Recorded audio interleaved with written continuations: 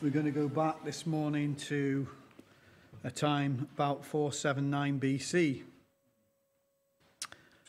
to a time in the history of the people of God that, for whatever reason, didn't return to Jerusalem. They stayed in Persia. They decided that they would stay in Persia rather than returning. Esther is a very special book. Have you ever wondered, where is God in my life today? Have you ever wondered, where is God in the world right now? What is happening? Or let me put it to you another way where is God in all this? Unless you've not been looking at the news for the last month or so, some of the most horrific, most barbaric, most cruel things that, I've known in my entire life have just happened. And we have people, Westerners, rejoicing over these things, rejoicing over these things. And the question has to be where is God in all this? Well, God isn't mentioned in the book of Esther. There's no mention of God. And yet he's working behind the scenes in the most mysterious way. The Lord moves in mysterious ways his wonders to perform. And we see him moving in the background in the, in the book of Esther.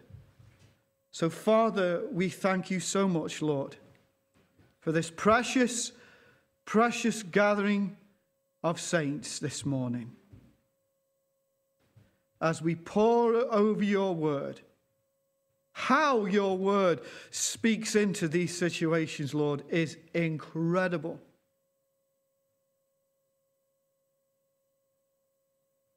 Very rarely, Lord, do you answer the why questions. You seem to answer them through patterns in Scripture.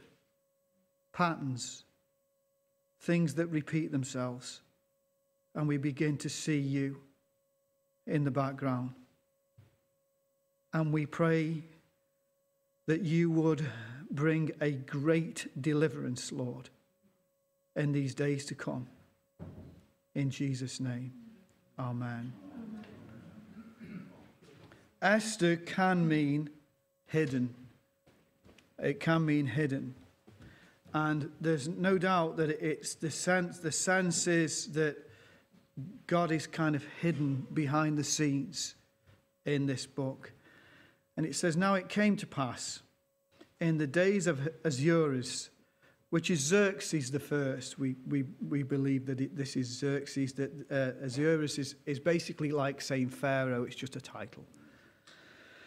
Who reigned over, now get, this is massive, okay, who reigned over 127 provinces from India to Ethiopia. This is the biggest world empire that had ever been at that time. This is massive. In those days, when King Xerxes sat on the throne of his kingdom, huge kingdom, which was in Shushan, the citadel. Now, what's interesting is, is that in Daniel 8, Daniel's in Babylon and he has a vision about the future. And in the vision, he's in Shushan. He's in the very place where this deliverance, this incredible thing will break out. Daniel in Babylon has a vision of being in a place 200 miles east of, of, of where he was, of Jerusalem. And of course, Daniel 8 is a, is a, is a very interesting chapter because the Greek Empire smash the Persian Empire. And if you, you have to try and understand how that works out in our day, but the Greek Empire smashes the Persian Empire. In those days, when King Xerxes sat on the throne of his kingdom, which was in Shushan the citadel. that in the third year of his reign he made a feast for all his officials and servants. The powers of Persia or Iran, Iran,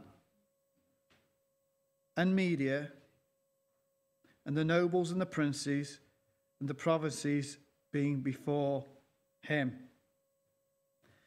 So this king had a six month party, a six month party. Can you imagine that?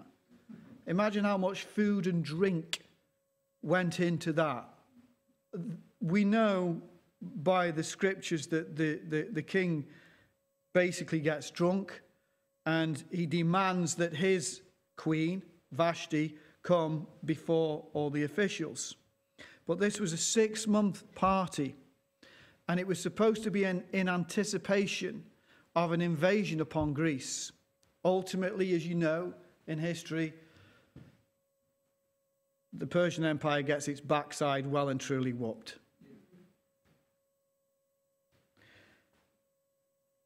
Let's go to verse 12. But Queen Vashti refused to come at the king's command. It seems such a, a matter of fact thing. What, what has this got to do with the rest of Esther? This thing? Well, it, it sets the scene for Esther to rise to the very, very, very top of this huge empire. One of the things that the Jews are always criticized of is that they always rise to the very top wherever, whatever dispersion they're in, they seem to rise to the top and they seem to do very, very well for themselves. And here, because Vashti refuses to come into the king's presence, it prepares the way for Esther. And that's what you'll see in this book. You don't necessarily see God, you see the effects of God preparing the way in the background. That's how most of the time, he works in our lives. Sometimes there's these blatant miracles, but they're not, it doesn't happen very often. But he works in the background in mysterious, wonderful ways. He sets things up. Now let's go to chapter 2, verse um, 5 here. Now, in Shushan, the citadel, there was a certain Jew whose name was Mordecai. Now, this is important.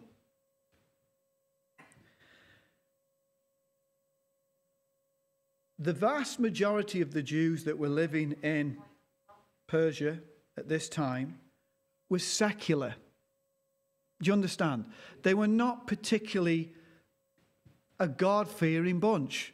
They had the chance to go back to Jerusalem, but they didn't go back. Now, in Jeremiah 29, he says, I know the plans I have for you, and I want you to, to dwell in the city that I take you and pray for the peace of that city, and so on and so forth. Build houses, get married. That's what Mordecai had done. And actually, he was a good citizen of Persia. That was a command. But he did have the opportunity as did the rest of them, to go back, and they chose to stay. But as we go through the book, you realize, thank God they chose to stay.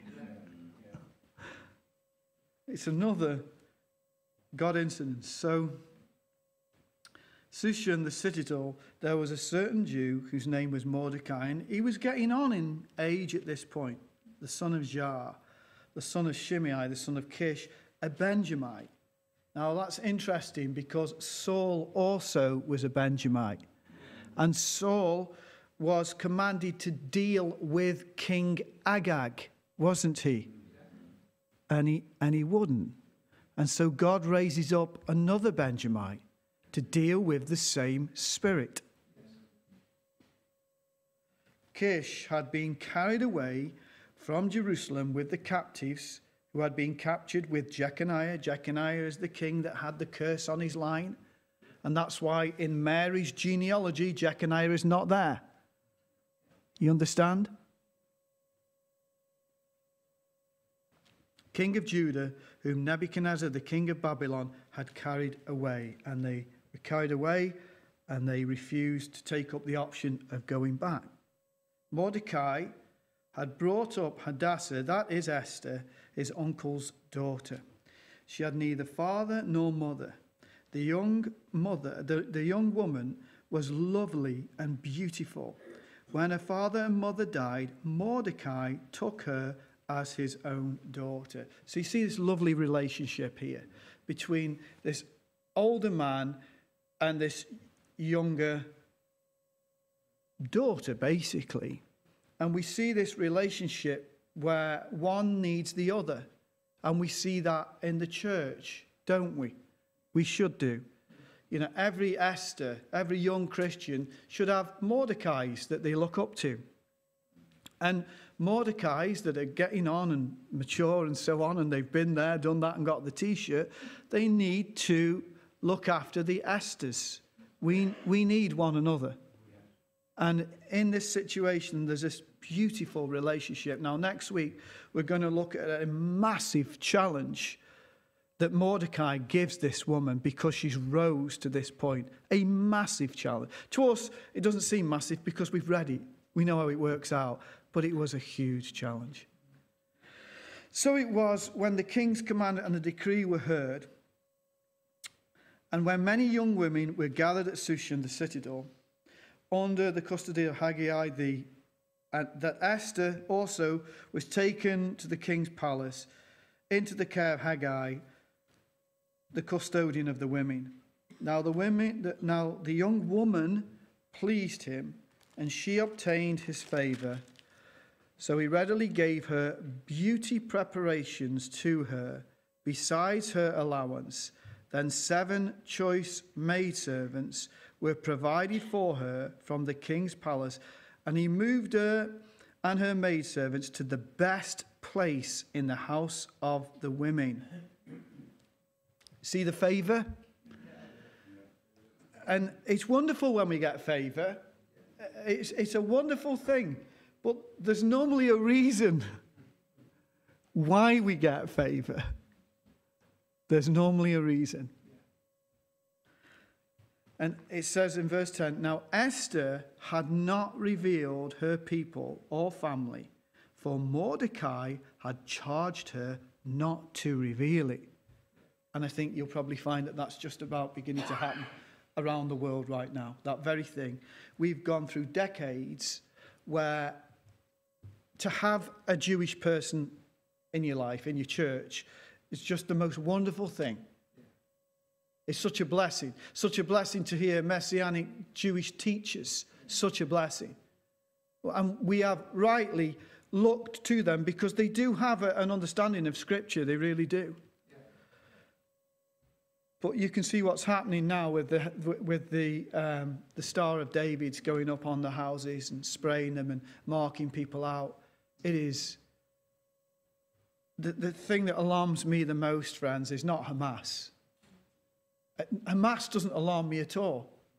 What alarms me is Europe. That is what is thoroughly alarming. And every day Mordecai paced in front of the court of the woman's quarters to learn of Esther's welfare and what was happening to her.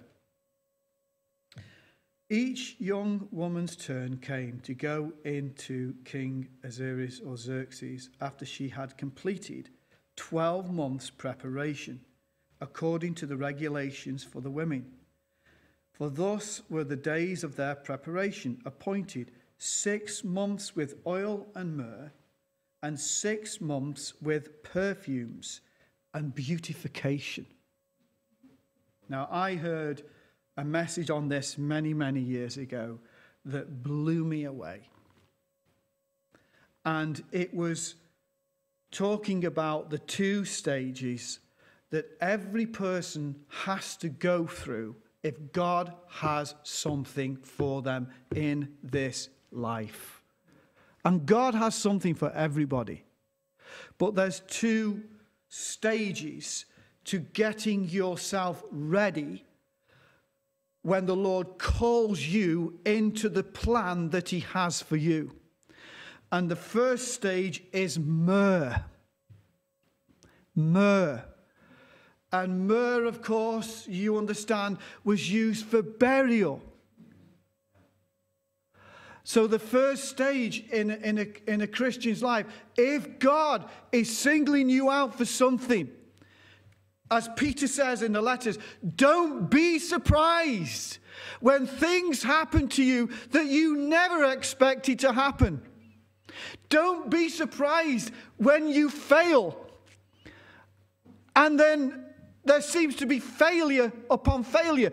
Don't be surprised when you're rejected. Don't be surprised when you're completely misunderstood. People don't understand you. Don't be surprised when you, when you go through all kinds of pain and illness.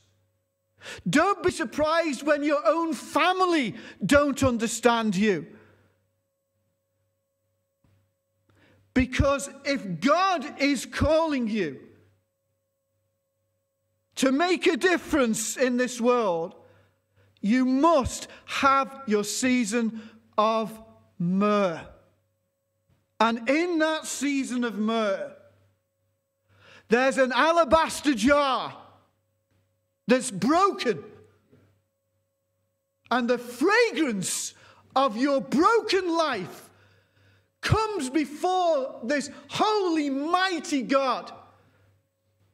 There has to be brokenness. You have to be broken and poured out. And Jesus said about the woman, that message will go to the ends of the earth because she understands. Every Christian has to go through a process of death, burial. She's anointed me for my burial, death, burial, and resurrection. And so when these things happen, they do happen. And sometimes it goes on for years, not six months, not even six years. It can be 30 years. There's no time limit necessarily. But there is a season of myrrh for every child of God. And in that season of myrrh, it is very easy, or it should be, if, you, if you're born again, if you are born again of the incorruptible seed of the Word of God, it is very easy in your season of myrrh to cry out to Jesus. It's the, it's the most natural thing in the world to cry out to Him in your season of myrrh. The problem isn't necessarily the season of myrrh. The problem is, what do you do in your season of beautification, when everything starts to go your way, when you rise to the position that God has put for you, what happens to you in that time? When the call comes and there has to be a sacrifice, and you're now in the palace. You see, friends, most Christians can call out to God in their season of myrrh. It's when things are going well for us. It's when the job's going well. It's when we've got our health. It's when we've got the house we want, the car we want, the friends around us, when there's peace on every boundary and, and, and you've got the position or whatever it is that you feel that you want to do in church, when everything's working out, that is when the big test comes, not in the season of myrrh. And that's, we'll look at this next week, that is the big test for this woman. What do we do when we're in the palace? Velvet Underground. Uh, sang a song called I'm Beginning to See the Light. And part of the song was this There are problems in these times, but woo, none of them are mine. I'm beginning to see the light. And there are so many people that are living today. And as long as it's not directly affecting them in their palace, it doesn't matter.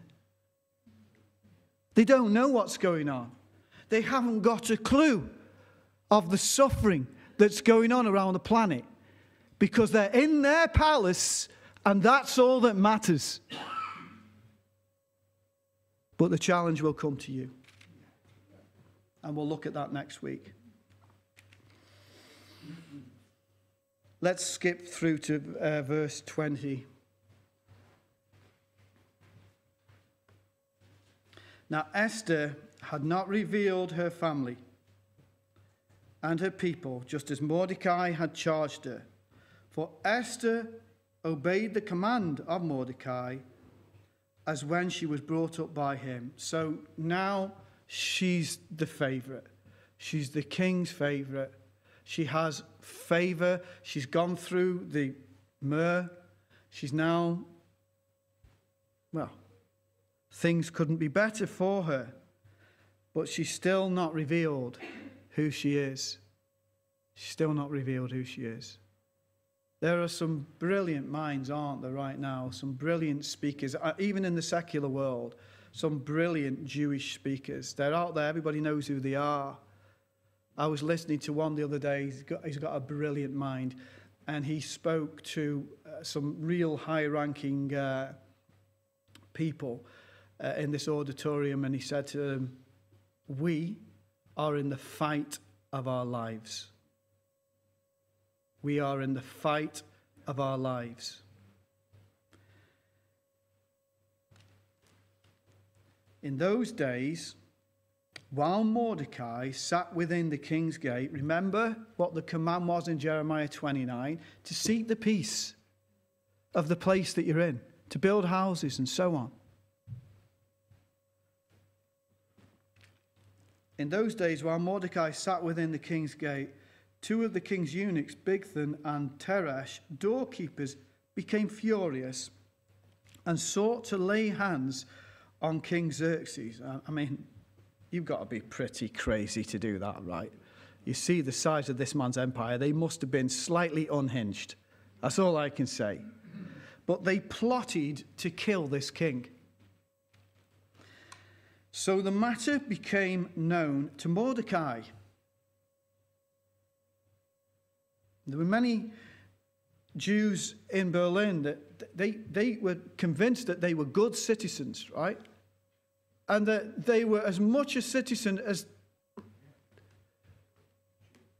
the indigenous Germans. And I believe that Mordecai, that's how he saw himself.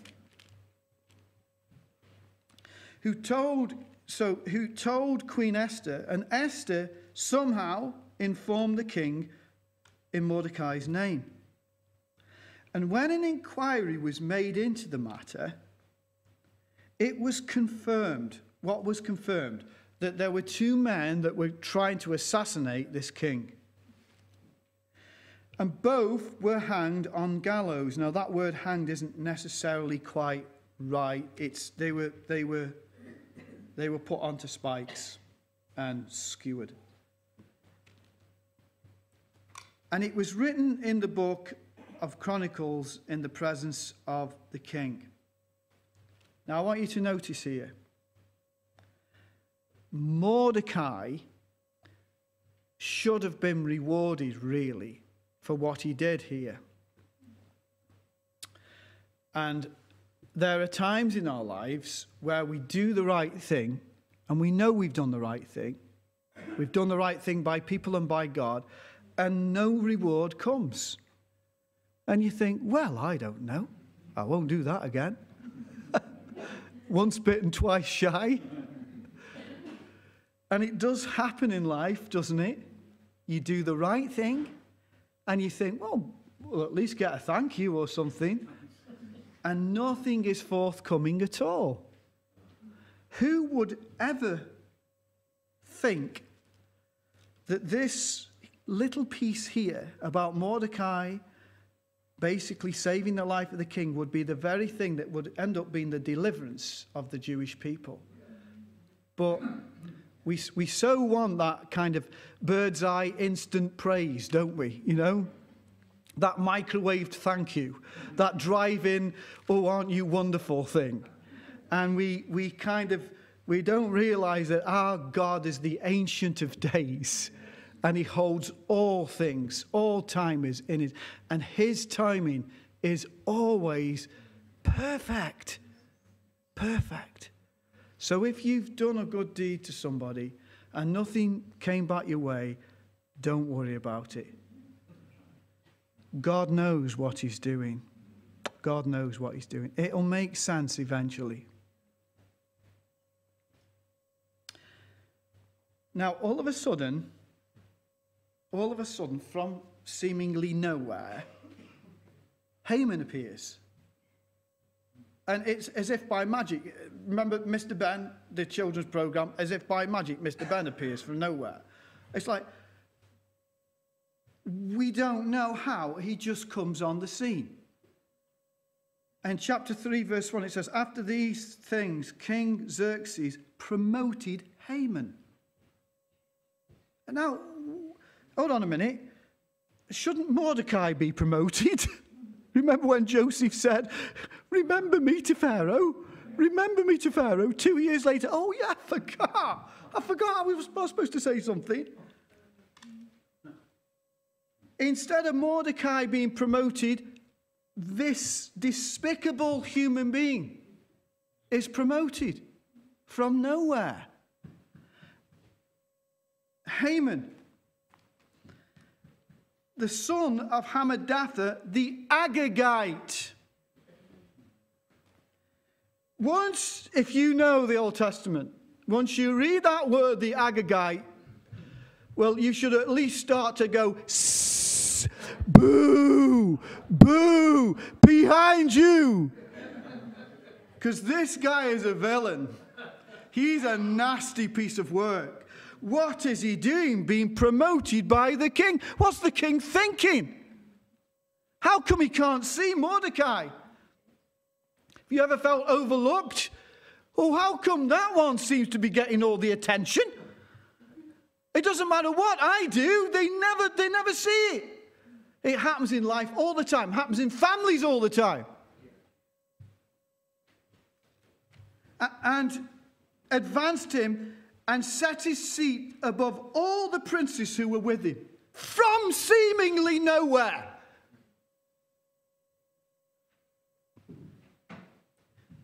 One day the Antichrist will arise. And it will seem as though he's come from nowhere. But the mystery of iniquity has always been with us. And the roots go way back. There is an ancient evil. And this man, Haman, here, his roots go way back. What's happening in the Middle East right now is not about Palestine. The roots go way back, way back. You can read in the Quran. The Quran will tell you at the end of time even the trees and the rocks will cry out, There's a Jew here, come and kill him. The roots go way back. This isn't about Palestine. It's an ancient tribal evil. How come people can't see it? We love to go to Scotland, as you know. And one of the um, things about going through Glencoe is, is that you have to go past Jimmy Savile's bungalow. So he had this, you've never seen a house like it. It's only small, but it's a white bungalow. Honestly, I, I have no idea what it would fetch today, but nobody wants to buy it. It's covered in the most sick graffiti. I mean, they just spray. And every time they come and whitewash it, people will go back and spray it. Make sure that nobody forgets. How did that man that was hidden in plain sight, how did he get access into hospitals, into prisons. How you can see him on top of the pops. You can see him when he's being filmed, pinching girls' backsides. How did that man get away with it? How did he get away with what he did in the hospitals and what he did? This was a man that, that, that was friends with Peter Sutcliffe, the Ripper. We, we have no idea how much this man got away with, and we never will now. He was an animal of a man, but he was hidden in plain sight. And the things that he would say were so outrageous that he, it's just Jimmy being Jimmy. You know, I'm the most feared man in all the girls' schools, or whatever I want to get my hands on, I'll get my hand on. Are you a paedophile, Jimmy? Yes. He was hidden in plain sight. He kept giving clues. That's what they do. They love it. They get a high off it. Kept giving out a breadcrumb trail, but nobody saw it, or did they? I believe there were people that did. I believe there were people that were covering for that man. I'm convinced there was. So, how come it didn't come out? I'll tell you how. They were frightened. They were frightened. The people that were abused were frightened of what would happen to them. Even the police, some of the police were frightened because he was part of a ring. He's a very powerful man. They were frightened. And because they were frightened, nobody said anything until he died. And then one after the other, after the other, after the other, they're all coming out of the woodwork. Over 500 cases of sexual abuse. He, he would even wheel corpses off into rooms and touch the corpses. How come this never came to light? I'll tell you fear. Fear. And there is a fear right now, and you know there is a fear right now in the West that is crippling us. And people are so frightened to say what's in their heart to say. People are seeing evil tra- being transformed into good and good into evil, and they're frightened to say it. But then you have psychologists looking at the profile of Jimmy Savile afterwards, looking at all his body language and saying, see, that was a lie there, that was a tell there. What's the point in that after the fact? That's no good after the fact. If you don't see it before you see it, you'll never see it. And here we are right now, and there is such a fear. It's crippling the West. It's crippling democracies. Folks, we've had 400 years of Christianity. What is happening to us? Fear. It's fear. It was fear with Jimmy Savile, and it's fear. Nobody dare say. Nobody really dare say what's on their mind. People are getting careful about who they even speak to or what they upload now because we are reaching a point of critical mass. And if this goes much further, there's no coming back from it. Let me show you, friends, just for a few minutes, and we're going to finish um, because our God is so good, right? And as frightening as Haman was, and he was, he was a vile man that rose to power from nowhere. He got his comeuppance. Have a look at Genesis chapter 25, verse 22.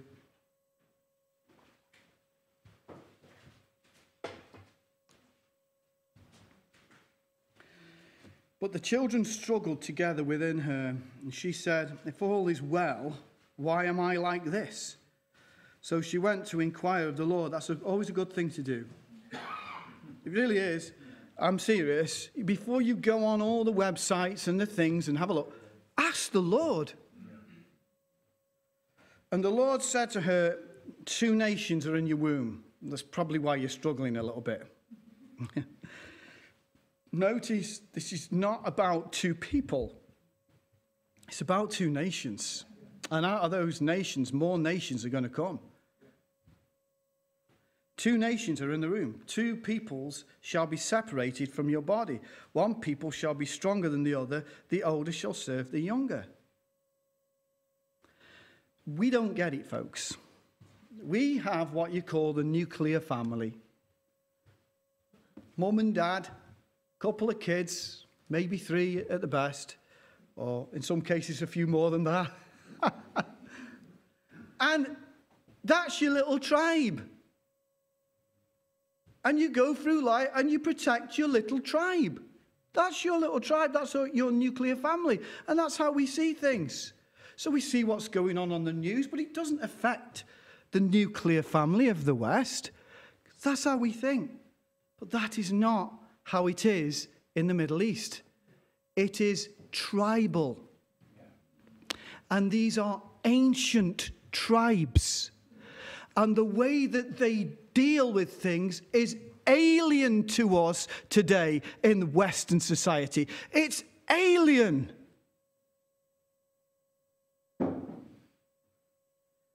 But this goes all the way back to Genesis 3:15. There's an enmity between the two seeds. And it becomes tribal in the Middle East, as we'll see. Have a look at Exodus chapter 17. The mystery of iniquity has always been with us. It's always been there. Exodus 17, verse 8. Now, what's important here is that the children of Israel have just complained again to God. Whinged, moaned, complained. That's all they ever seem to do in the wilderness is whinge, moan, and complain. And all of a sudden in verse 8 it says, Now Amalek. Who is Amalek? Well, Haman is a descendant of Amalek. Do you understand? Haman didn't just come from nowhere. The roots go very, very, very deep. What's going on in the Middle East right now hasn't come from nowhere. The roots go very, very deep.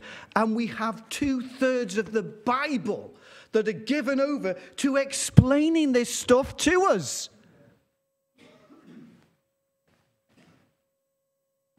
And Moses said to Joshua, Choose us some men and go out and fight Amalek.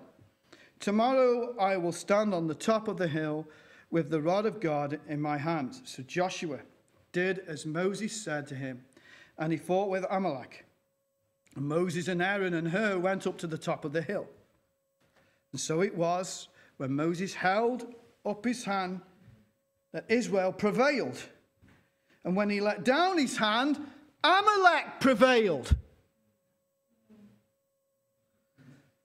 But Moses' hands became heavy. So they took a stone and they put it under him and he sat on it. And Aaron and Hur supported his hands, one on one side, the other on the other side. And his hands were steady until the going down of the sun. So Joshua defeated Amalek and his people with the edge of the sword. This teaches us something, church, today. We are out of our depth. What's going on right now is way out of our depth. We're out of our depth. The world is out of, the, out of its depth. The nations are. Because this is not political, it's spiritual. And until people realize this is not political, Hamas is not a political organization, it is spiritual. And the weapons of our warfare are not carnal, but they are mighty for the pulling down of strongholds. So there is, there is a way. But this way is through prayer. Paul says, I want all men everywhere to lift up holy hands in prayer. That's what Paul said. And here we see Moses lifting his hands up in prayer. When people put their hands up like that, it's a position of surrender. I'm surrendering to you, God, because I am powerless. This church victorious stuff is nonsense. The world is going to hell, folks. There is so little salt today. Generations are getting worse, they're not getting better. The world is getting worse. People are becoming more cruel, not less cruel. This idea that the, the church is going to take over this planet and Jesus is going to come and pat the church on the back and say, Oh, I couldn't have done it without you. God bless you. They're out of the debt. You're out of your debt with Haman. You're out of your debt with Herod. You're out of your debt with Doeg. You're out of your debt with Sennacherib. You're out of your debt with this kind of stuff. It's demonic. And the battle belongs to the Lord. Have a look at Deuteronomy 25 17.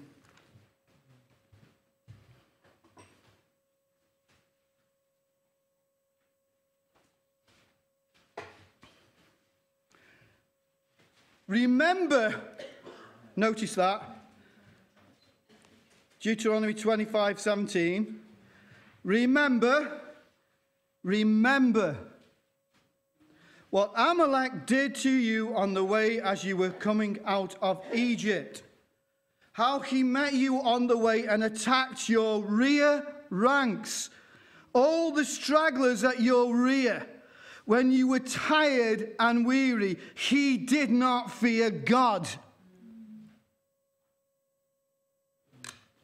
Therefore, it shall be when the Lord your God has given you rest from your enemies all around in the land which the Lord your God is giving you to possess as an inheritance, blot out the remembrance of Amalek from under heaven, you shall not forget. So this begins with remember and it ends with you shall not forget. Why? What did they do that was so wrong? This was not man to man combat. This was not soldier to soldier combat. This was not arms taking up arms together. This was the weak and the defenseless, the old and the young being slaughtered.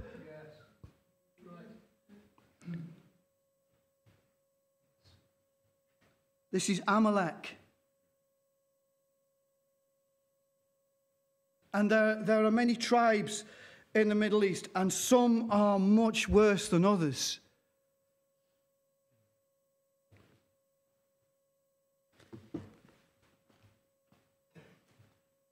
Um, and it goes without saying that the gospel is for every tribe, for every tongue, and for every nation and that Christ died for all. And let me say this this is really important. These people grew up being breastfed on hatred of the Jews. The West wasn't. The West has had 400 years of Christianity. You tell me which is worse in God's eyes which is worse in God's eyes. People that have been brought up from tiny little toddlers, or people that should know better because they've had the Bible for 400 years.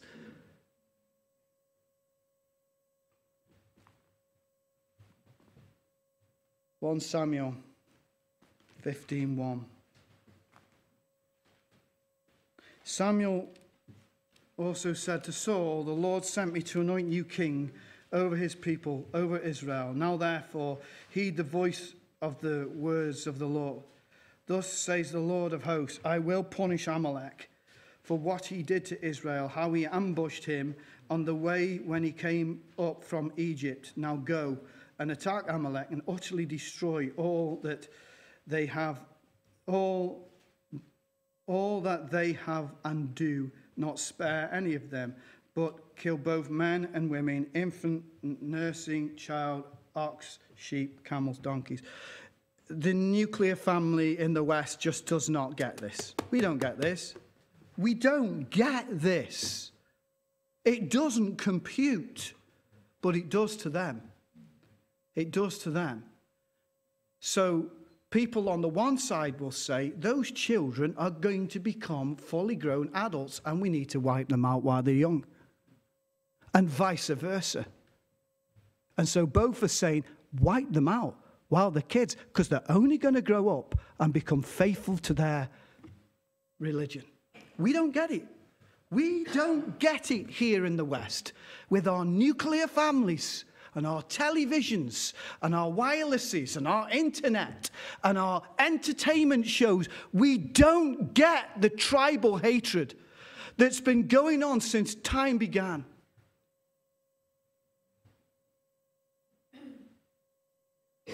And we'll see this next week. Esther probably thought she'd be okay because she was in the palace. Now, you're not going to be okay because you're in a palace. Psalm 137 By the rivers of Babylon, there we sat down, we wept.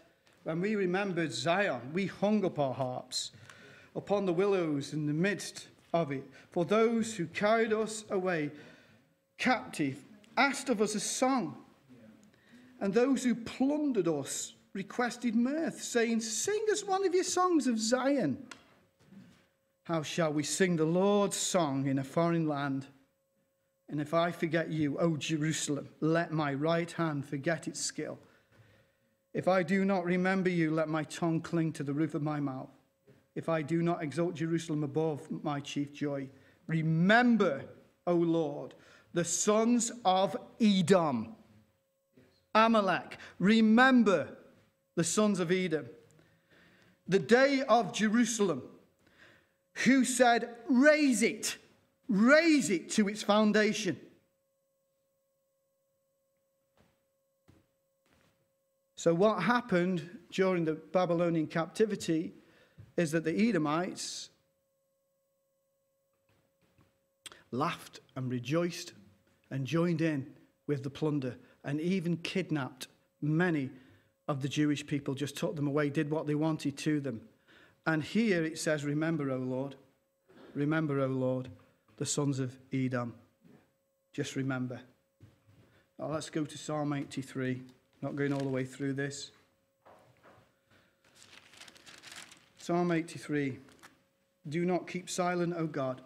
Do not hold your peace. And do not be still, O God. For behold, your enemies make a tumult. Those who hate you have lifted up their head. They have taken crafty counsel against your people and consulted together against your shouted ones. They have said, Come, let us cut them off from being a nation. Remember Mein Kampf? It's written, it's written there in black and white. People thought, nah, Hitler will never do that. No, that's never, you're never going to get a people that say they want to wipe out the Jews off the map, surely. That crazy guy in Iran, he doesn't really mean it. Now, Jimmy Savile didn't mean it when he said what he said, but they do mean it. But we, we live in a bubble, folks. We live in a bubble. In the name of Israel, may they be remembered no more. For they have consulted together with one consent, they form a confederacy against you. Who are they? The tents of Edom. This is tribal. Stop thinking in terms of a nuclear family. Why do you think when Jesus, when they came to him, he said, Your parents, they said, Your family are here. And he said, Who is my family? Who is my mother? Who's my brother? Who's my sister? He said, I'll tell you, it is, it's my tribe. My, my tribe are my mother, my brother, my sister. Why do you think it says in Matthew chapter 24 that father will betray son, son will betray father? I'll tell you why, because it's not going to be a nuclear family, it's tribal and you're either in the tribe of Jesus or you're in your own nuclear family.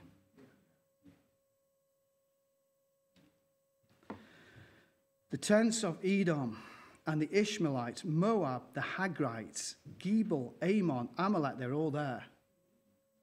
Philistia, with the inhabitants of Tyre, they're all there, gathered together. Assyria, remember we looked at Hezekiah not that long ago. They're all gathered together. There's 12 tribes, basically. Did you know that? A kind of a counterfeit. It's tribal. It's tribal. Now have a look at Second Chronicles. Second Chronicles 21. And it, and it happened after this that the people of Moab, with the people of Ammon, and others. We know who the others are. It tells you later those from Mount Seir, which is Edom. Edom. With them, besides the Ammonites, came to battle against Jehoshaphat.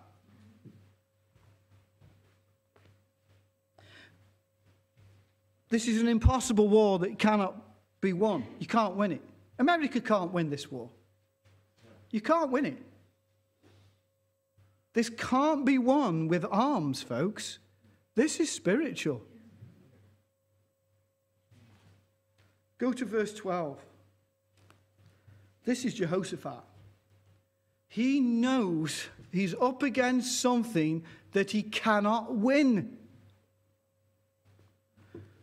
Oh, our God, will, not, will you not judge them?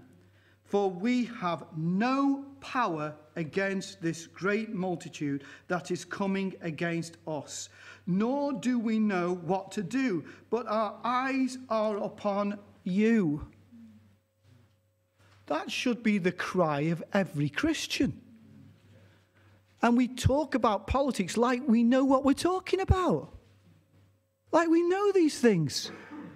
We don't. Nobody really does.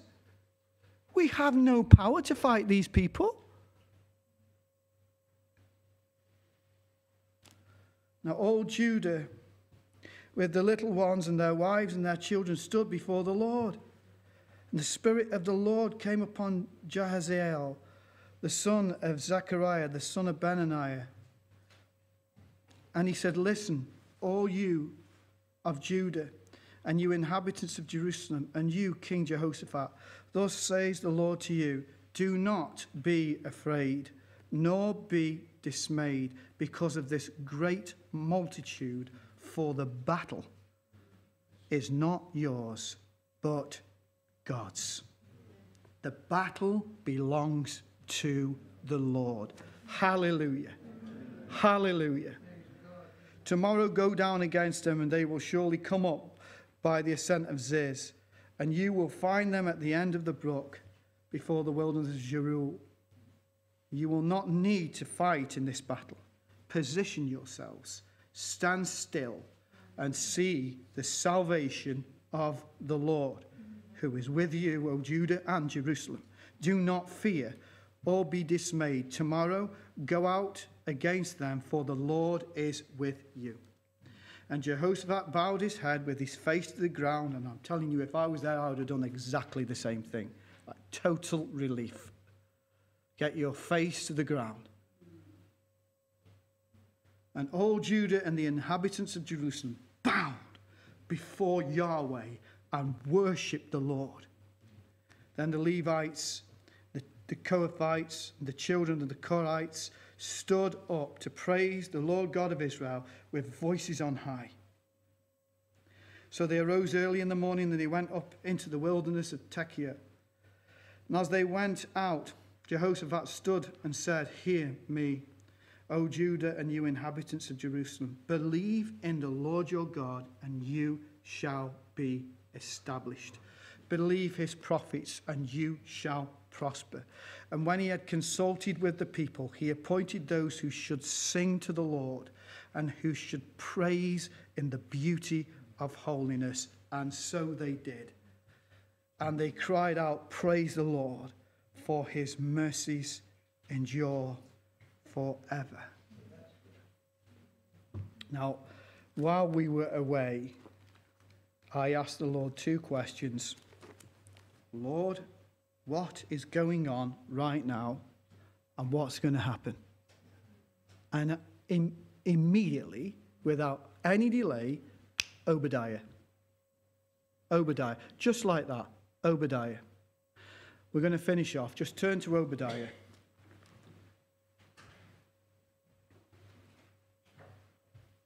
The vision of Obadiah, servant of the Lord. Thus says the Lord God concerning Edom. Remember, there are many Edomites. Herod was an Edomite. Doeg, who remembers Doeg? The chief herdsman that slaughtered all the innocent priests. We have heard a report from the Lord, and the messenger has been sent among the nations, saying, Arise, let us rise up against her for battle. Behold, I will make you small among the nations you shall be greatly despised. The pride of your heart has deceived you. You who dwell in the clefts of the rock, whose, inha- habitation is high, you say in your heart, Who will bring me down to the ground? Though you ascend as high as the eagle, from there I will bring you down. And though you set your nest among the stars, I will bring you down. If thieves had come to you, if robbers by night, Oh, how you will be cut off. Would they not have stolen till they'd had enough? If great gatherers had come to you, would they not have left some gleanings? Oh, how Esau shall be searched out. How his hidden treasures shall be sought after. All the men in your confederacy shall force you to the border. The men at peace with you shall deceive you and prevail against you. Those who eat your bread shall lay a trap for you. No one is aware of it. It's tribal. They don't even trust one another. Their unity is in their hatred of Israel. Will I not in that day, says the Lord, even destroy the wise men of Edom, and there are many wise men of Edom, and understanding from the mountains of Esau? Then you mighty men, O Teman, shall be dismayed, to the end that everyone from the mountains of Esau may be cut off by slaughter. Listen very carefully. For violence against your brother Jacob, Shame shall cover you, and you shall be cut off forever. In the woke brigade, for years now, they've talked about the hurtfulness of microaggression. We've all heard it, haven't we? The, the offence, oh, the offence of microaggression. These same people many of them rejoiced in the slaughter of the babies and the mothers and the fathers.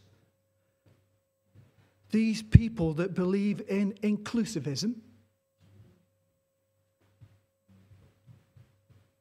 have seen the things. This is the crazy thing. We, we've been to Auschwitz. You go there and you take children there so that they will remember but these pictures are not making them think, never again, never again. These pictures are making them think, we want more. Who are these people? Who are they? When, when COVID 19 happened, right, there was this organization that came to the top Black Lives Matters. And they started to riot everywhere. Black Lives Matters. You know, as though they give a hoot about black people. By the way, my wife is black, yeah? The same organization comes, comes to the fore all over again when this happens, puts up banners. We're behind you, we're with you. Who are these people that rejoice in such a foul, evil thing? The Bible tells you what will happen to them. Those that rejoice over this.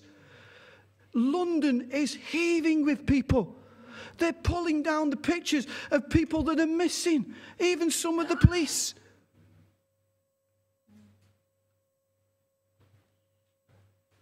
In that day that you stood on the other side, in that day that strangers carried captives, when forces entered his gates and cast lots for Jerusalem, even you who were as one, you were one of them, but you should not have gazed on the day of your brother in the day of his captivity. You should not have rejoiced in that.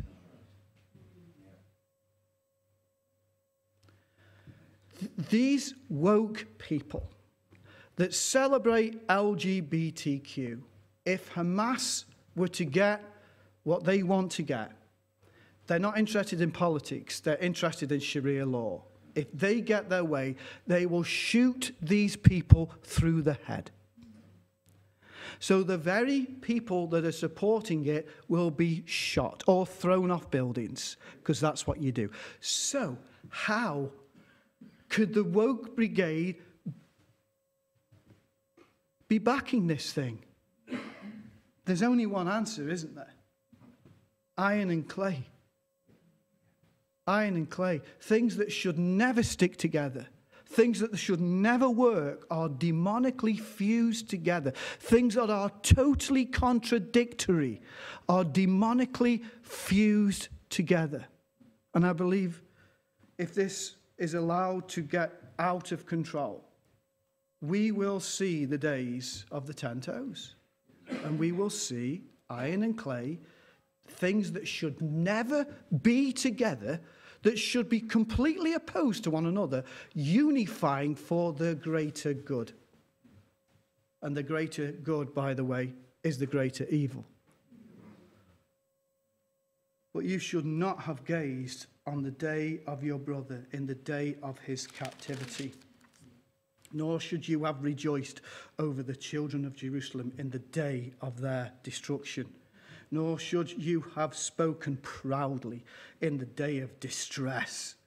You should not have entered the gate of my people in the day of their calamity. Indeed, you should not have gazed on their affliction in the day of their calamity, nor laid hands on their substance in the day of their calamity. You should not have stood at the crossroads to cut off those among them who escaped, nor should you have delivered up those among them who remained in the day of their distress. For the day of the Lord is upon all the nations, all of them. This is not just about something that's happening in the Middle East. It is pervading through because that's the nature of sin. We are reaching critical mass. Places that should know better, places that have had the word of God for 400 years are being affected by this madness. The day of the Lord is coming for all nations. As you have done, it will be done to you and your reprise will return upon your own head. For as you drank on my holy mountain, so shall all the nations drink continually. Yes, they shall drink and swallow, and they shall be as though they had never been. But on Mount Zion there will be a deliverance, and there shall be holiness. The house of Jacob shall possess their possessions. The house of Jacob shall be a fire, the house of Joseph a flame. The house of Esau shall be stubble. They shall kindle them and devour them, and no survival shall remain of the house of Esau, for the Lord has spoken. The south shall possess the mountains of Esau, the lowland shall possess Philistia. They shall possess the fields of Ephraim, the fields of Samaria. Benjamin shall possess Gilead, and the captives of the host of the children of Israel shall possess the land of the Canaanites, as far as Zarephath. The captives of Judah who are in Sepharad shall possess the cities of the south. Then Saviour shall come to Mount Zion to judge the mountains of Esau, and the kingdom shall be the Lord's. Anybody ever heard a guy's name's Constantine? He's a very good speaker. Anybody heard him? He's a Russian Jew. And he's, he's, he's basically just, just given a speech about we are in the fight of our lives and he's basically uh, putting out a call to all Jewish people right now that you are guaranteed one thing that you're going to die. That's what he's basically saying. He says the only thing that you need to make sure of is that you live before you die. And there are many people that are like the walking dead, they're not alive. Let me come to a conclusion this morning.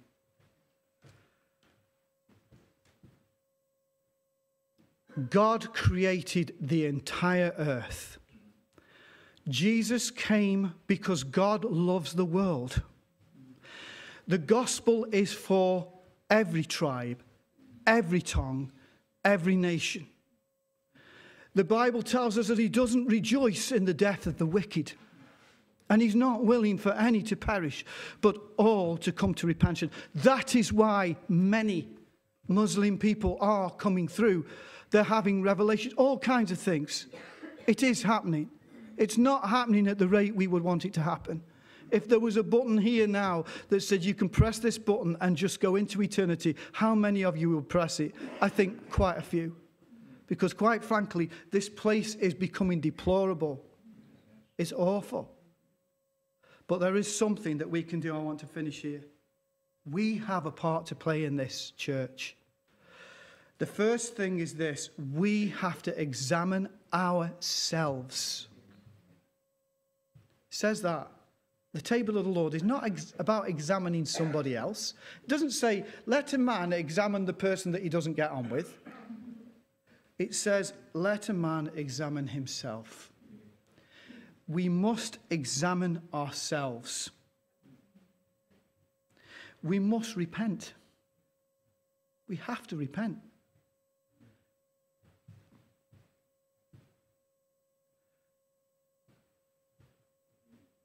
You're not living in a palace, it's an optical illusion. What has this got to do with you if you're a child of God? Everything. We must examine ourselves. We must repent. You've got to stop thinking nuclear family. You've got to start thinking about tribes. What tribe are we in? we must pray. And when I say pray, I mean seek the Lord. And seek the Lord in the Word too. This is time to fast. If this is not a time to fast, I don't know what is. I don't know what is. But it's also a time to praise. It's also a time to praise God with hands in the air, knowing that only He can do this. And finally, it's a time to worship, not just praise, worship. Church, I tell you how bad this situation is, right? Even my dad is worried. That's how bad it is. Who knows? Maybe we've been called into the kingdom for such a time as this. Amen.